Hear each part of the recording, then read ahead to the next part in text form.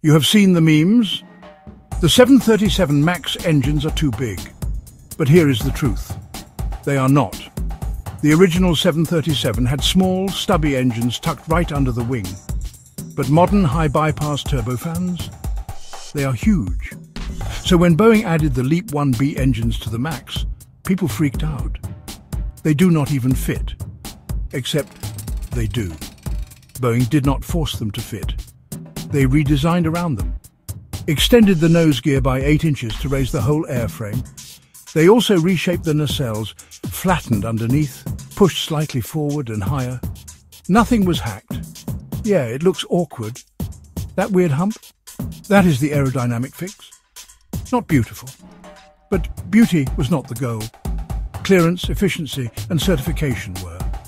This redesign passed FAA and EASA certification just like every other airliner.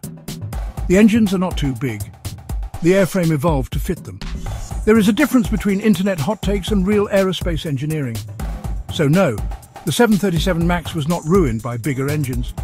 It was rebalanced, refitted and reapproved. If it looks strange, that is because it is doing complicated things in a very tight package. Not a failure of design, a flex of adaptation.